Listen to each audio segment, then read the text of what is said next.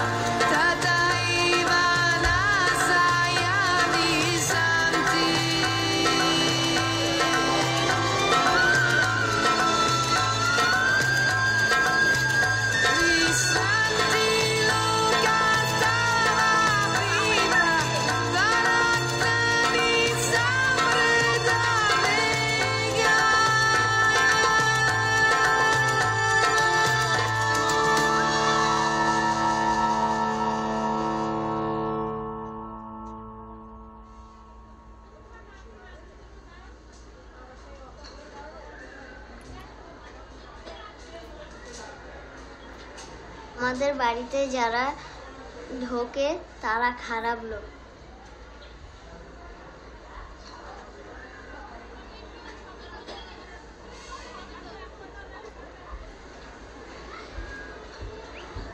মদ লোক এরকম ঢোকে, অনেক কিছু গালাগালি, খিস্তি দেয়। বলে তুই কি লাইনে নামবি এরকম বলেছে বলে দুদিন পরে এ করবে এরকম গালাগালি দিয়েছে আমাকে As we just watched it, the film begins with a two-minute music and video showing us the most realistic streetscape of the red light district. Although there is no narration introduction, the amount of information it contains was huge. Through the images, we can see how messy, noisy, and crowded. It can also be said that the entire industry chain is thriving. The author's monologue also explained to us the purpose of the film, which is to reflect the light in the red light district through the children's perspective, and the author's expectation of teaching the children to take pictures and helping them to get out of the brothel and receive education.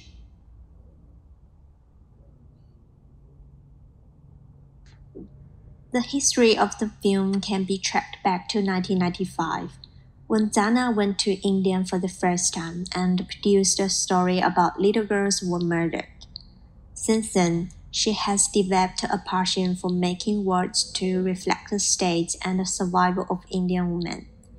The Indian government at that time was a complicated system that would not provide education for the children of criminals or paperless people. Prostitution is legal in India per se, but it is a crime to own or manage a brothel.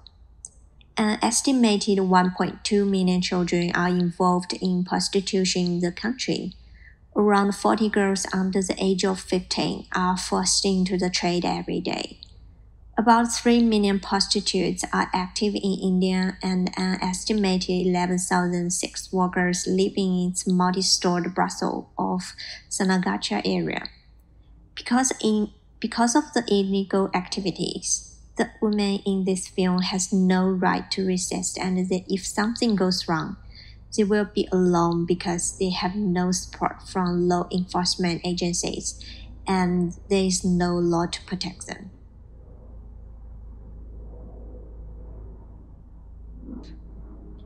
After the film was released, it won a large number of international awards, including Oscars and Emmy, and also has achieved a box office of more than 3.5 million US dollars. After that, they disclosed that Dana funded Kids with Cameras in 2002, a non-profit organization that aims to educate and support poor children through photography soon after the documentary was released in 2004. Helder, who is one of the kids from the documentary, received financial support from that allowed him to resume attending a high school. However, there were also quite a lot of people have questioned if this documentary is a method of Western capitalists to suppress or ugly Asia, if, or if the directors used prostitutes and children for themselves. The responses to Born into Brothels were varied, with many people, mainly in the West, marveling at it and giving it rave reviews. On the American website Rotten Tomatoes, the critical consensus stated that it was a powerful and uplifting film. After all, to any outsiders, it shows a woman swooping in to save some children from a terrible fate of sex work. The documentary has won many awards, such as the Academy Award for Best Documentary and the Independent Spirit Truer Than Fiction Award. However, according to the Week 7 reading, many South Asian viewers criticised the film. It was seen to be inaccurate and represented the Indian people poorly. One Indian magazine, The Frontline, said that if the film were remade as an adventure thriller, the poster would read New York filmmaker Zana Briski sallies forth among the natives to save souls. This satirical and sarcastic reading of a tagline points to the skewed perspective Westerners have of South Asia and specifically India. Furthermore, the film could be accused of poverty porn, which is a term used to describe videos and articles that exploit people experiencing poverty or poverty based hardships to generate revenue and gain viewers. While most of us could guess this wasn't the intention of Briskis and Kauffmans, it is a slippery slope and sometimes good intentions can miss the mark. To Vietnamese filmmaker Trinh Thi Minh Ha, a documentary like this one is essentially gossip. We speak together about others. Is this film fairly representing its subjects and their lifestyles? Does it feel exploitative? Or is it 100% honest and telling a complete story? While we think about these questions, let's watch this scene of the children on a trip to the zoo.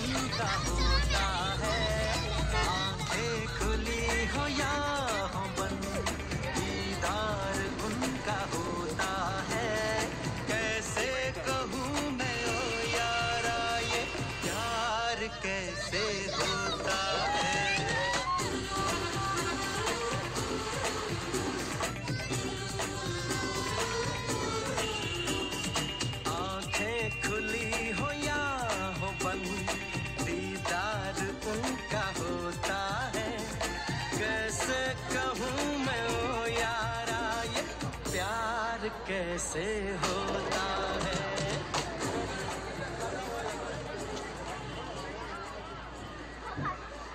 वो भी तो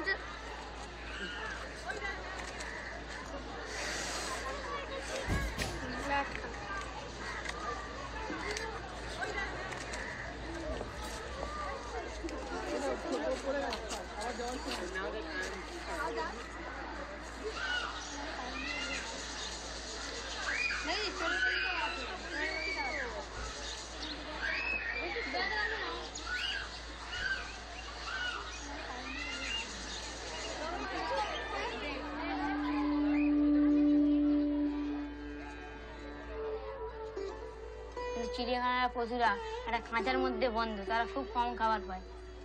দিনে একবার পায়, তারা একটু একটু করে পেট ভরে খেতে পারে না।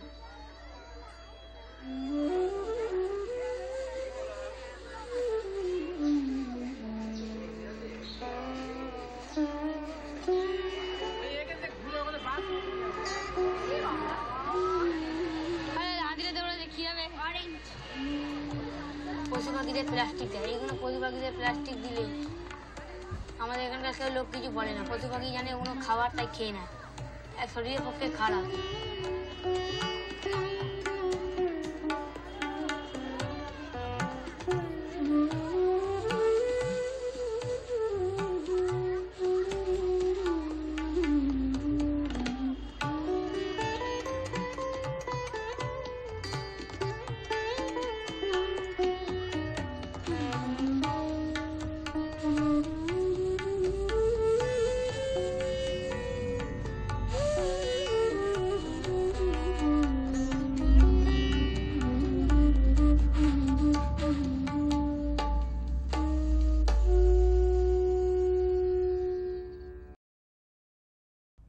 In this scene, the music is upbeat and fun. It pairs together suitably with the moods of the children as they're excited to be visiting the zoo. We see them playfully mucking around in the back of the taxis and even trying to race the other taxi there. The music, along with the children, becomes a bit more somber when they're at the zoo and looking in at the animals. One of the children, Gour, describes how the animals are shut in their cages and fed only once a day. The kids get shots of the animals looking at them through the bars of the cages. The day at the zoo, like many scenes in the movie, are bittersweet. The audience can't help but find comparisons between the lives of the children and the lives of the animals. The documentary has a powerful shift with this scene. It forces the audience to notice that even the merry experiences for the children are shaded by the poverty around them. Born into Brothels doesn't use the typical shot reverse shot method to thread together the opening of the film.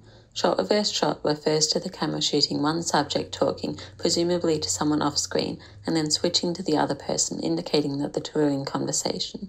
Instead, the opening, and indeed what conjoins many scenes together in the movie, is a montage of photographs taken by the film crew and, more importantly, the subjects.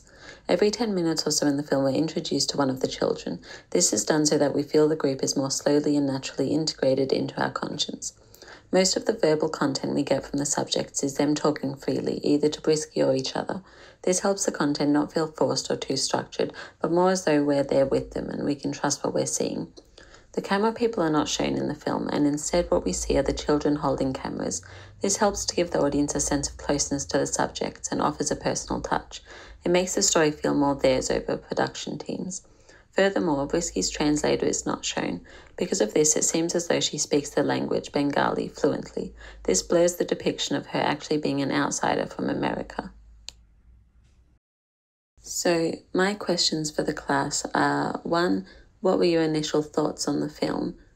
Two, do you think Briski and Kauffman did enough to avoid exploiting the people of Sonagachi? And three, are the filmmakers guilty of producing poverty porn?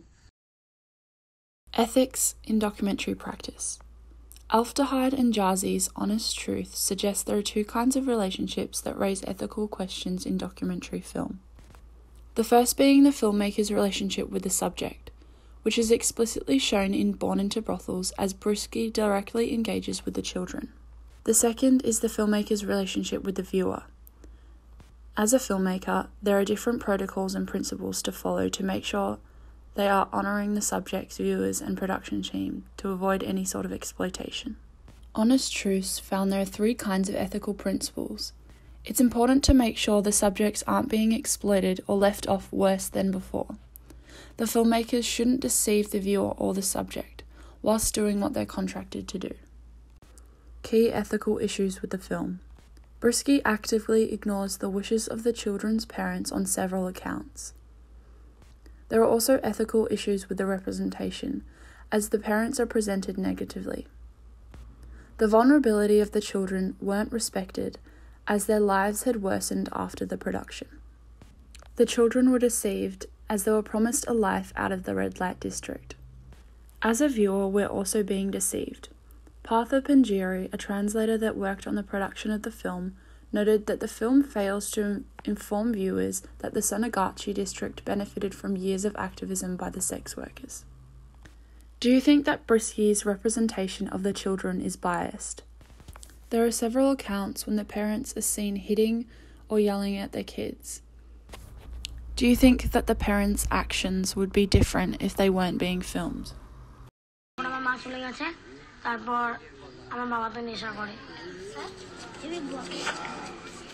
তাই মানেও না আমি একটুখানিও ভালোবাসার চেষ্টা করি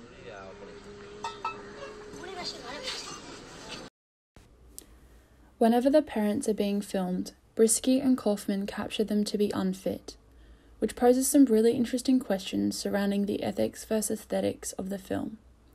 Is it ethical to include this imagery, and is it contributing to the filmmaker's argument in a positive way?